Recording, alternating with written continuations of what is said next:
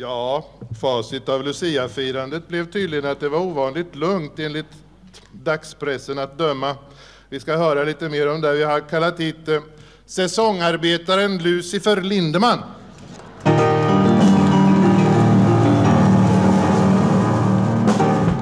Hjärtligt välkommen. Har det varit en arbetsam dag och natt? Ja, det har varit som vanligt. Ja, vad är det för säsong ni är säsongarbetare? Vad innebär det? Jag säljer lucianålar. Jaha. Ja, ja, det är en kort säsong. Det är en kort säsong, men man får ju ihop en hacka i alla fall så man klarar sig. Ja, ja. Men vad har du nu för erfarenheter av årets Lucia-firande då? Jag kommer inte ihåg det riktigt. Nej. Men jag kan berätta... Ja, nej, jag, jag har sina randiga skäl och rutiga orsaker. Men eh, jag kan ju berätta lite om de sedvänjor vi har hemma i mitt hem. Ja, ja, jaha, ja, du känner till en massa saker om Lucias förhistoria så här kanske? Prata på bara. Ja, nej, ja, jag ska berätta. Det var... Alltså, vi hade ju lite speciellt hemma. Det var ju gamla sedvänjor i mitt he- föräldrahem. Det var... Alltså, på Lucia så skulle morsan väcka farsan tidigt, ja. Det gjorde hon varje morgon, ja. Men eh, extra tidigt, en kvart tidigare. Kvart i nio skulle jag väckas, ja. På, på Lucia morgon. Hon sov aldrig, morsan sov aldrig.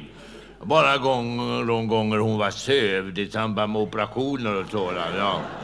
Hon var rätt ofta opererad. Farsan slängde saker på henne alltid. Ja. Ofta. Ja, för. En gång slängde han en trasig Koskenkorva. fastnade i häcken så hon skar sönder hela soffan hemma. Ja. Fick inte på sig klänningen och var tvungen att operera. Då fick hon sova. Det var väl två timmar någonting. Sen var hon pigg igen. Pigg igen hela året. Ja. Nej, men ska jag berätta om Lucia hur det går till? Ja, det är jävligt trevligt. Ja. Ja, hon, har ju, hon är flintis morsan för hon eldade upp håret en gång i samband med en Lucia. Men ehm, ja, i alla fall. Morsan går då och hon går kring i köket där, gör i ordning. Och, ja, hon går lite snett med huvudet. Hon har klänningen brann upp också då. Ja, så hon har overall alltid. Ja. Hon hade sin brudklänning, den fick hon ha på Lucia, men den brann upp då samtidigt med håret. Det var ljusfest vi hade då, ja. Annars går hon overall. Jag hörde du sa det. Skit i overall. Ja, så går hon snett med huvudet där. Ja. Jag har så jävla lågt i taket i köket. Jag gå där. I alla fall, så satte hon en ljusstump i örat. Tände på. Gick in till farsan. Ja, ja. I vanliga ja.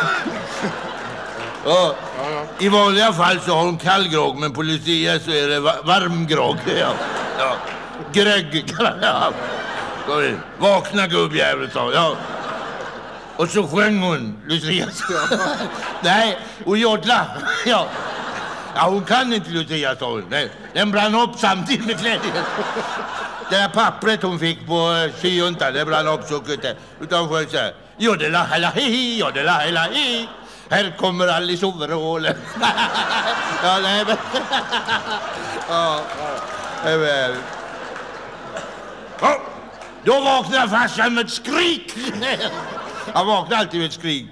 Ja, och sen var det dags för den heliga ritualen. Han skulle visa kartan. Visa kartan. Ja, det gjorde han alltid på Lucia. Vad då? då? Va? Han var tatuerad över hela kroppen där.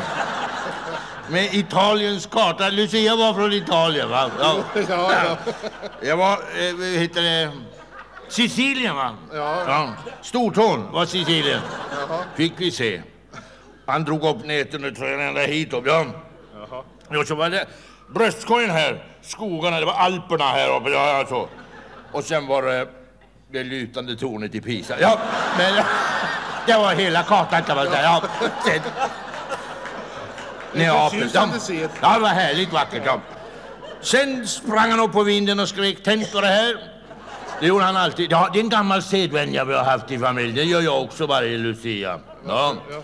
Och det har vi gå, min farfar gjorde det. har gått i vår släkt ända sedan 1971. ja, gammal stil. Sen så skulle vi göras rent, alla barnen ställdes upp. Vi, vi tvättade oss aldrig. Nej, vi hade ingen badkar. Det hade pappa sålt som eh, livbåt till Finlandsbåtarna. Så vi, ja, Ja, telefon hade vi. Ja, hade vi. Avstängd. Nej, det fan, det var en sån här handdusch, men det visste vi inte. Ja, ja. Så vi tvättades på det viset varje Lucia-morgon med att vi ställdes upp och så sköt farsan skiten av oss med en hagelbössa. Ja. Så var det. Det var hårda papper. Ja, det var verkligen hårda bud. Nej, det var en sträng farsa man hade. Sen dansade morsan och han tango hela förmiddagen. Ja. Ja, sen fick vi gå och lägga oss. Godnatt.